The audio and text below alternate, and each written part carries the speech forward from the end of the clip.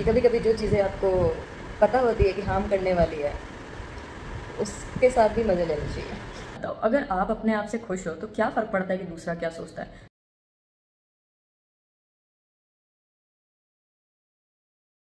Good morning guys welcome back to our channel welcome to our channel so सुबह हो चुकी है and बहुत ज़्यादा गर्मी है।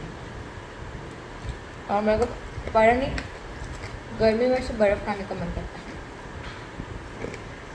आई नो अब कुछ लोग बोलेंगे बर्फ़ खाना is not good not good for health और समथिंग समथिंग या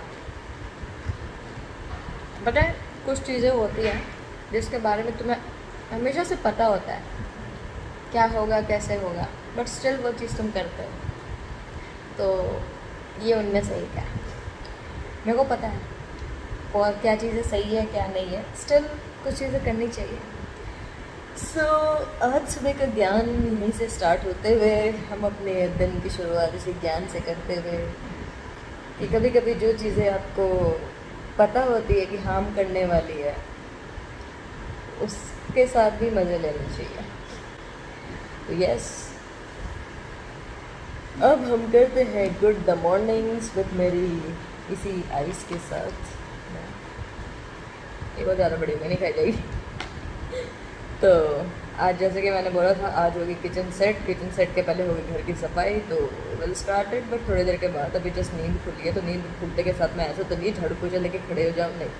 I do it okay guys मिलते हैं थोड़ी देर। सफ़ाई के पहले चाहिए होता है बूस्टर बूस्टर क्या होता है? ना, हम यहाँ पे किसी वैक्सीन वाली बूस्टर की बात नहीं कर रहे यहाँ पे बात कर रहे हैं हम दिन के शुरुआत करने के पहले की तो मेरा बूस्टर तो यही है ना।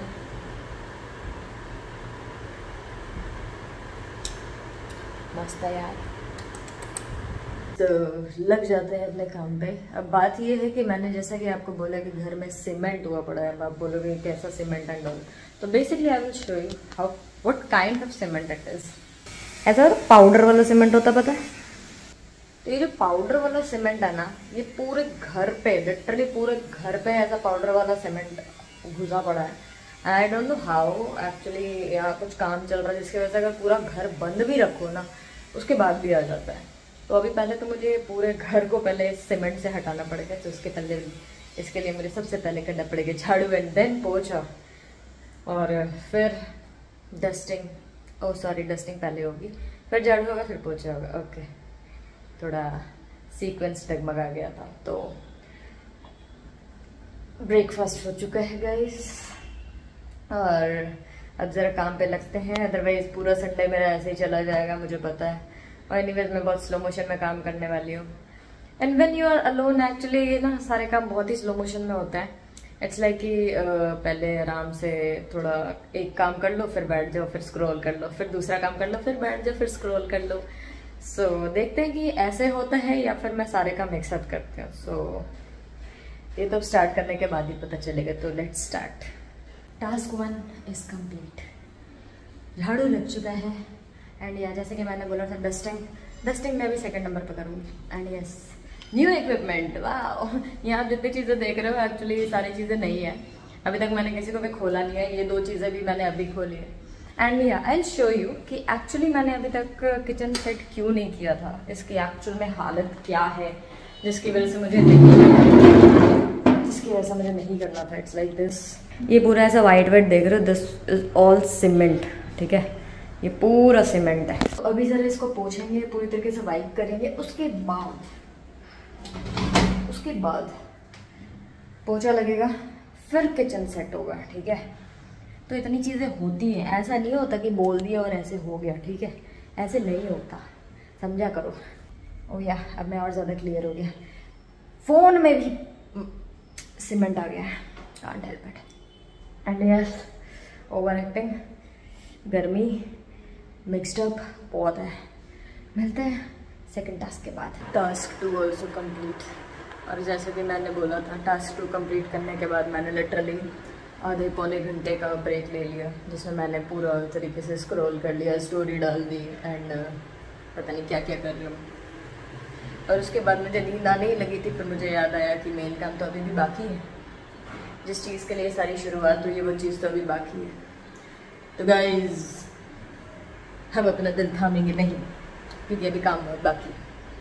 काम ख़त्म करने के बाद हम दिल भी थाम लेंगे, अपने आप को भी थाम लेंगे तो अरे भगवान, इतने काम क्यों होते हैं अभी संडे को? इसलिए मुझे चलने का मन कर रहा है। चलते चलते थोड़ी नींद खुलेगी मेरी तो फिर मैं अपने थर्ड टास्क पे आऊँगी। थर्ड टास्क कंप्लीट होगा तब मैं किचन के कारनामों में आऊँगी।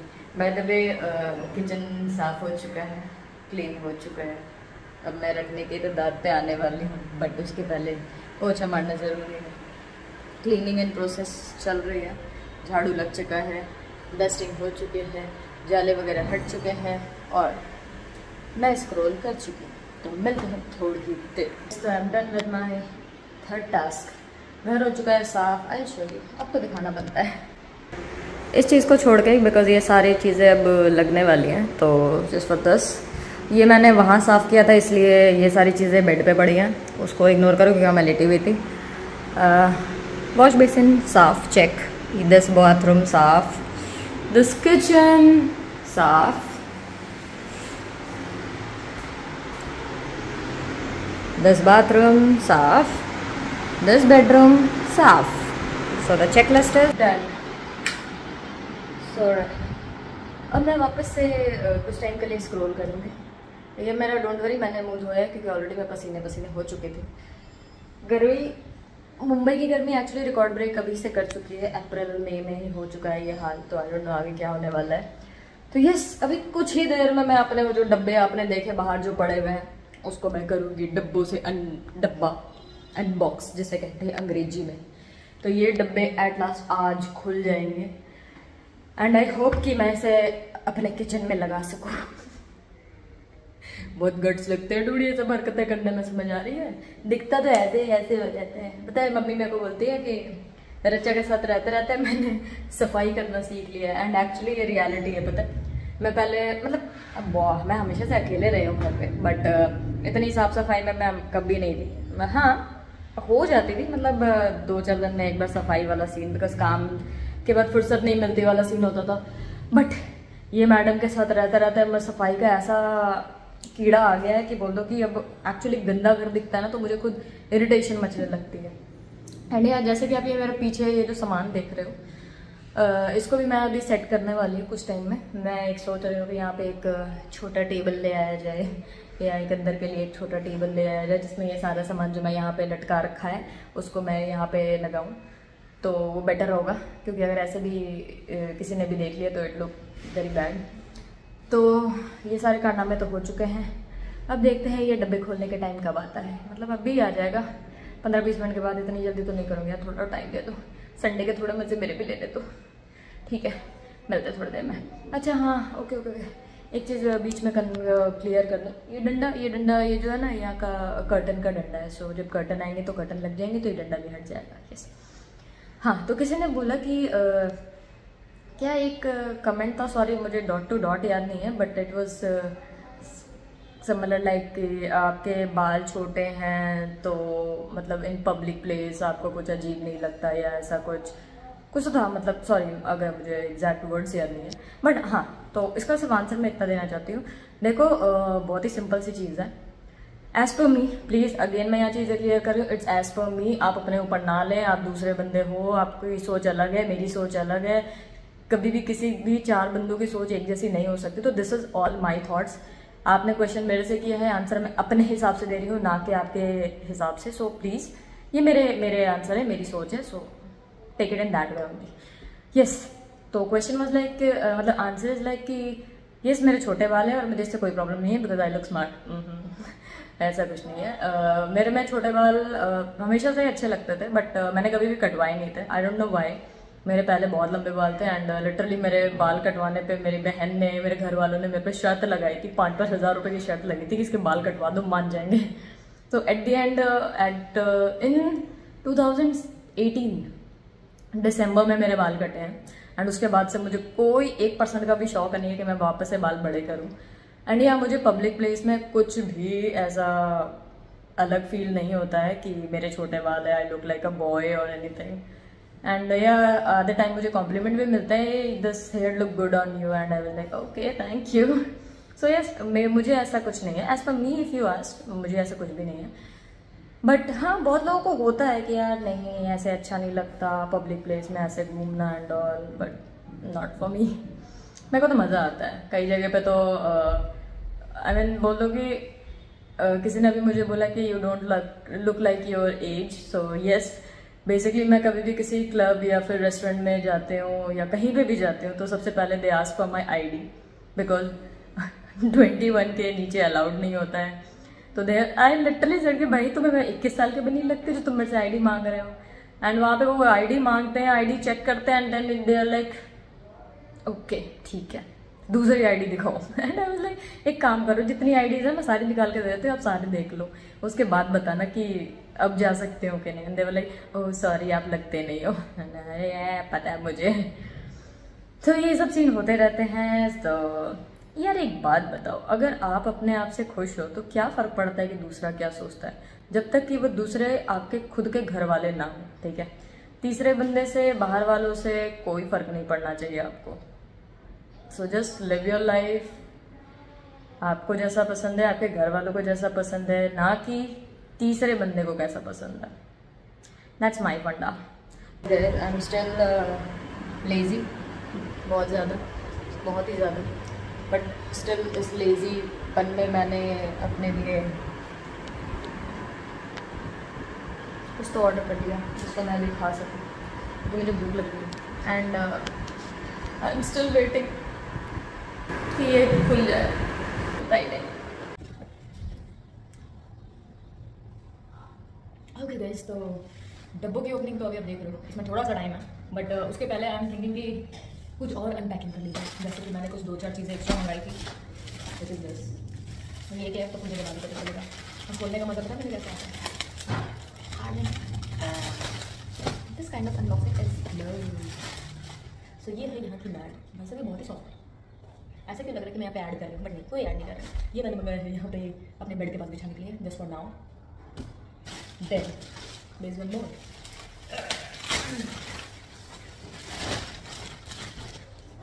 This ये मैंने मंगाया एक बाथरूम के लिए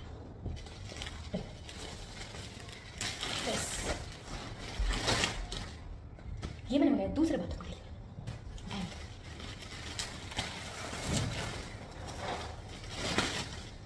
दस डोंट नो ये ब्लू कलर का क्यों आया बट मैंने ब्लू मंगाया नहीं था, और मुझे कोई शौक नहीं चल रहा है इसे रिटर्न डालने का तो मैंने इसे अभी जस्ट आपके सामने फाड़ दिया तो इसको मैं बिछाऊँगी दरवाजे के पास, ठीक है?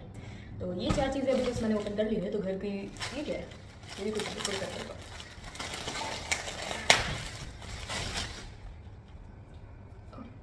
छोटे वाले हैंकी किसी काम तो आ जाएँगे तो अभी के लिए ये चार चीज़ें मैंने खोली हैं। बस कुछ टाइम में इसको भी खोलूँगी मैं। So the box unpacking time is here first I do this जो एक्चुअली बहुत ज़रूरी है। वंस मुझे इतना सा डब्बा खोलने के लिए, जिसको हार्डली दो मिनट नहीं लगते this. And the plate is this? मतलब मुझे सिर्फ़ इतना ही काम था। मुझे इतना ये थी अनबॉक्सिंग में। इसके लिए मैंने लिटरली एक हफ़्ता वेस्ट किया अपना। And then I got this also अब इसमें क्या है? ओ भाई सर इसको टाइम लगेगा कोई नहीं इस डिब्बे के अंदर एक और डब्बा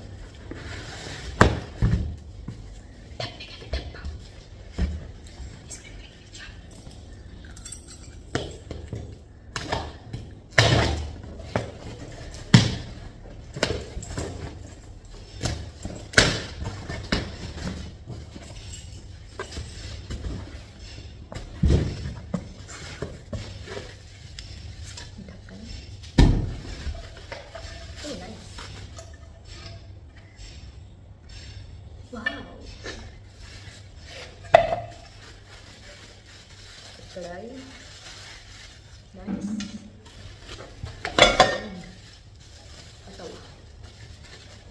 बैड है लाइक कलर कलर अच्छा है ओके तो ये लिया ठीक है मैं क्या करूँ and this is also paint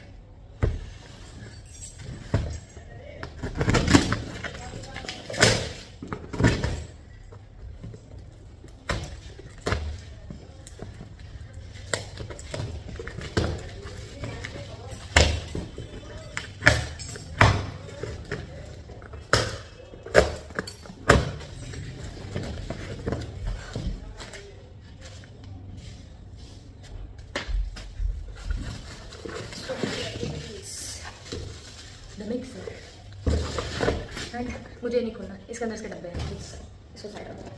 क्योंकि मिक्सर का काम अभी मेरा है नहीं एंड मैंने कचरा फैला दिया। तो गाइस इसी के साथ मैं अभी और कुछ नहीं करने वाली। यहाँ तक तो चीज़ें निकल चुकी हैं, अब ये डायरेक्ट जाएगी किचन में। बड़ी ब्लॉग को मैं ज़्यादा बड़ा ना करते हुए, इस ब्लॉग को मैं यहीं पे करूँगी एंड आपको इसकी सारी चीज़ें मतलब मैंने क्या किया है, कैसे किया है, और जो चीज़ें आने वाली है लिटरली आज इवनिंग तक वो चीज़ें भी आ जाएँगी जो मैंने ऑर्डर किया एंड वहाँ पे जो चीज़ें रखी हैं, वो भी सेटलमेंट हो जाएगा आज ही। तो वो जब होगा, वो आपको दिखेगा कल के ब्लॉग में। तो इस ब्लॉग को करती हूँ मैं यहीं पे एंड आपको करना like comment share subscribe don't forget to follow Instagram description में सब करना। Tata bye bye good night